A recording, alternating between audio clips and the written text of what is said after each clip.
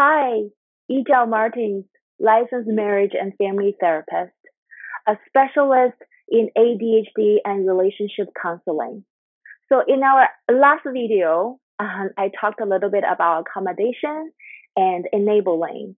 And I mentioned that you can negotiate with your ADHD partners based on each of your strengths instead of weakness. So let's just face it. Your ADHD partner will never be as efficient, um, as fast, as good, as competent in doing certain tasks compared to you, especially planning and organization or anything attending to details or being very repetitive. So you may say, yay, what does it mean? I have to do everything for them. That is not fair. Well, let's talk about fairness. What does it mean for you? Does it mean everything needs to be split 50 50? Does it mean the time doesn't matter how much each of you contribute, but as long as you both chip in and you feel that they are there for you?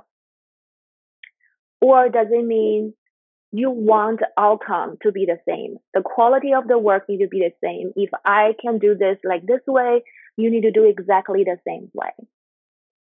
So all of those statements reflect your values. I invite you to sit down and to talk about your values with your to-do list to negotiate who should be doing what, how often, for how long, and what's going to be like if it's being done in a certain way. So if you can sit down, which um, when you are in a very good mental space, that means you're not triggered, or you're not being angry or over emotional. You can tap into this part of your brain to really rational thinking about this matter and to solve this problem. And please prepare a list of to-do lists or household chores ahead of time so you can be ready for that. And after that, you can start to discuss your values. So what we mentioned earlier are efficiency, which means um, how fast you can do this thing. Competency, which means how good you can do this thing.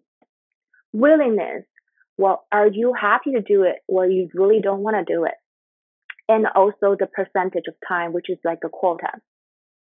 So let's take dishwashing as an example. I have a little chart here.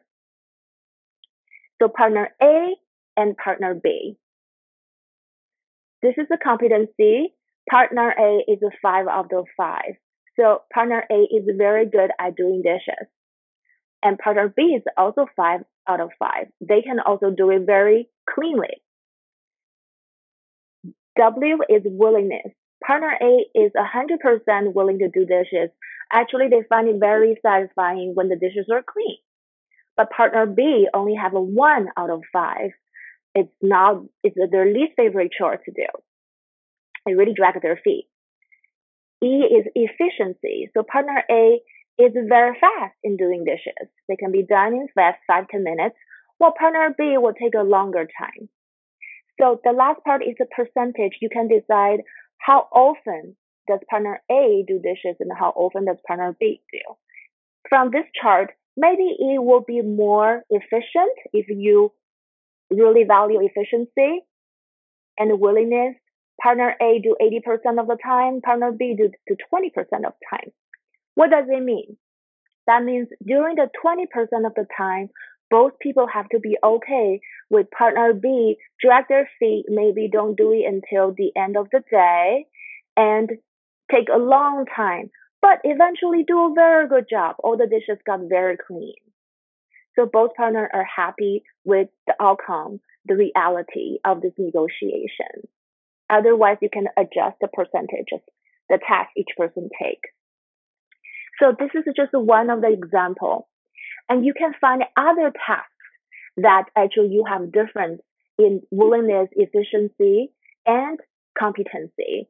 Um, more examples, or I'm thinking about like um, taking the trash out, taking the children to school, driving long distance. Um, there are going to be tasks that partners with ADHD might be more willing to do, more competent, and more efficient. You just have to discover. And that's part of the process of knowing each other, who you are, where your strengths are, and how to optimize for your family. Till next time. Bye.